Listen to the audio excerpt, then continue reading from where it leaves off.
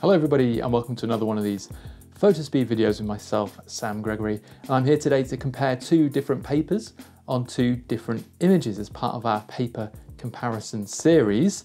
And today we're going to be looking at the Legacy Gloss 325 versus the NST Bright White 315. Now, uh, what we're going to do is print, print both images on both papers and then we're going to have a good look at them, a couple of close-ups and I'll give you some of my thoughts about which paper might suit which image best. And the two images we're using, we've got this sort of autumnal soft coloured woodland scene here on your left or my right of the screen. And then we have another uh, image also from autumn, but you wouldn't necessarily know it. Uh, it's in black and white, which is the one closest to me here, obviously. And we're going to print that on both papers as well. So two different types of images, one a little bit more muted and the other one a little bit more punchy. And we're looking to give both the papers a good old test across the range of what they can do. And I'll give you my thoughts about them too. Now, just before we do that, if you do enjoy these videos and you want to see more about papers and learning how to print from home, just subscribe to the channel and hit the notification bell for all the latest updates. And before we get into the close-ups on the uh, prints and my thoughts, I'm going to quickly jump you into the computer, just tell you a little bit about the images, quickly walk through the print prep process, and then we'll get into comparing the papers back to back. So without any further ado, let's get into it. Okay everyone, I'm going to be fairly brief here on the computer, just going to show you this is our black and white image and you can see this sort of backlit, uh, you know, central positioning of the tree is something I suppose is always uh, questionable, uh, but it had such kind of great uh, presence there in the middle and all these branches and, and bark coming out just kind of feels like veins to me uh, coming out. And uh, so actually, although it was an autumnal time of year and originally thought about in colour, it really does work best for me in black and white because of that backlighting and how that then contrasts against uh, the tree and all the branches. And uh, the second image is another autumnal one actually, and this was shot in uh, the Lake District. And I just wanted to take a moment just briefly to talk about this one because um, it was very, very, very foggy on this morning. And actually what I've had to do in the edit is actually introduce a bit of dehaze just to sort of cut through uh, that fog. If you sort of bring that back to where it where it was, um, for me, uh, having printed this a couple of times, uh, if we don't cut through a little bit of that fog, uh, especially if we're using a sort of matte paper, it's sort of that uh, haze sort of loses some of the quality and, and the the tangibility, the touchability, shall we say, uh, of the print when it comes out. So I found from past experience, and this is something that you just get, that actually, although potentially it's nice uh, having that really foggy look, um, that actually when it comes to the print, I do just have to bring a bit of this in. Uh, and that's not something I do very often, to be honest. I tend to stay quite clear from that dehaze slider. It can be quite aggressive, as as can the clarity one. Um, but getting the colours right on this was super important. The other thing I would say uh, when you have that fog and it's cold and it's early in the morning is often there can be quite a lot of blue uh, residual kind of light and hue and tone and saturation in in the image and you have to just be really careful of white balance because if we just bring that down a little bit uh, you can see how blue that's uh, starting to feel and uh, you know this is a, a thing obviously you can change after in the edit but I would always sort of encourage uh, getting your white balance uh, right at the time, just so that your eye can see on the back of the camera really what's happening and just be very sensitive to those blues. In the same way, if we take it too far and overcolor it, um, it becomes too warm, in my opinion, a bit too romantic, and we we can tell that because these these um, you know these central columns uh, and the wood around them starts to take on this slightly sickly yellowy orange feel, which which your eye knows isn't isn't right and so it sort of immediately tells you, hang on, this this probably isn't quite uh, what was going on. Uh, so you know, somewhere around this five seven feels about right to me. Anyway, that's just a little bit of detail, but might be useful for you when you're printing your autumnal images. I suppose it's that kind of time of year. Um, but what we'll do, uh, I'll get these printed out onto um, the, the different papers and uh, we'll try it on the Legacy Gloss uh, 325 and the NST Bright White and it'll be interesting to see how the colour and the black and white one come out and we'll show you those or I'll show you those in much more detail with a couple of close-ups and I'll give you my thoughts as well but for now I shall get them printed out on the wonderful Canon Pro 300 and we'll check them out.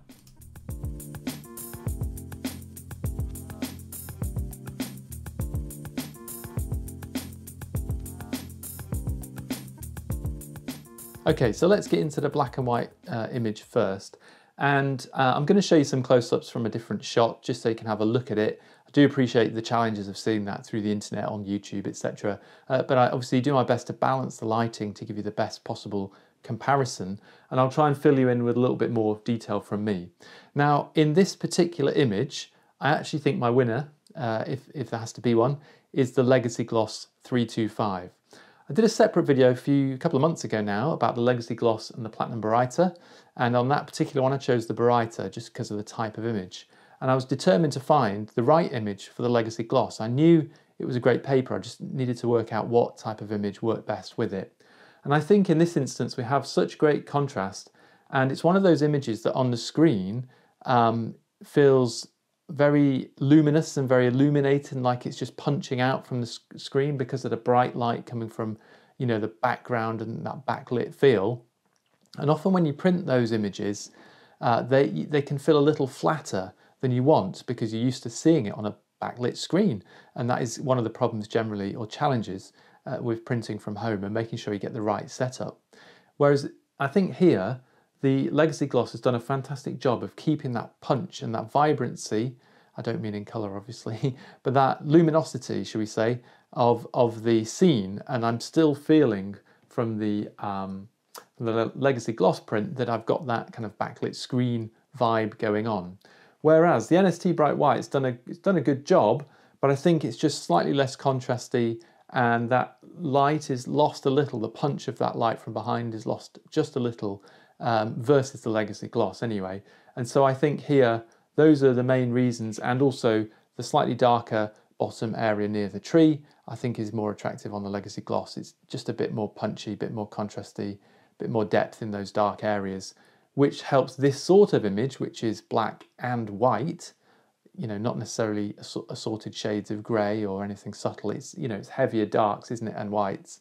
Uh, we want that contrast and I think on that instance, the Legacy Gloss has done a great job. So uh, I'm really pleased that I found the right thing for it because, as I say, I knew it was a good paper.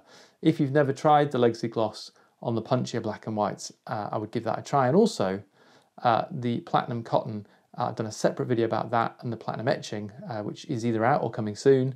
And that's another nice paper, the Platinum Cotton 305. If you do want something matte, uh, but still to have a little bit of punch to the black and white. But I think here, the gloss, um, even though it's unglazed, the gloss paper does do a better job. And I'm not normally prone to saying that, but in this instance, I think it does. Anyway, let's get into the color image because that might well be a slightly different story. Okay, so let's get into this color image. And it's a slightly uh, tricky one in a way because the conditions, uh, as I may have mentioned on the computer side of things, uh, it was quite misty. So that tends to leave um, quite a bit of, and it was early in the morning and it was cold. So there was quite a bit of blue in the air, should we say, and the mist was quite dense. It was quite heavy, the fog, really, I suppose. It was more than mist, perhaps. And so uh, I have used a tiny bit of dehaze just to kind of cut through that fog, um, you know, for the purposes of, of seeing what was in it uh, with our trees here. And so I've been very careful about the coloration, and it does have a slightly more yellow feel, um, which is kind of correct. That's kind of how it was at the time. That's what I was trying to get through in the print as well. I kind of knew already this would be a very difficult one for the Legacy Gloss to win because I have a natural penchant for the matte papers.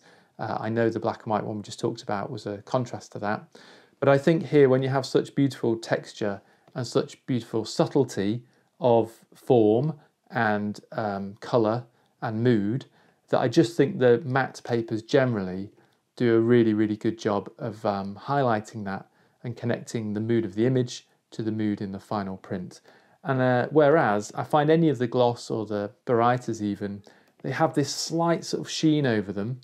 And because of that, I, in a weird way, it's kind of like there's a physical restrictive barrier I can't get through to the to the trees, to the woods, to the to the color, to the mood, to the atmosphere. And that might that may sound a bit odd, but I'm sure some of you will know what I mean if you've used those sorts of papers. With this, I, I feel just more like I'm there I can touch it, I'm right in it, it feels more tactile to me. Uh, and I just think as well how the, the general rendering of the colour and that softness, I do prefer the NST Bright White on this occasion. But like I've said with the previous one, the Legacy Gloss does different things for different people in different ways. So it does just depend on your penchant and your preference, shall we say. Anyway, I hope that's been useful. Uh, there's more of these videos out. Like I say, I've compared the Platinum Cotton and the Platinum Etching, and I've compared the Legacy Gloss to the Platinum Baryta on a different type of black and white image as well. Uh, if you do find them interesting, do leave some comments and let us know if you have any other queries. Uh, otherwise, stay subscribed, keep your eye on that notifications bell for latest videos, and myself or Tim or one of the other Fotospeed team will talk to you again very soon.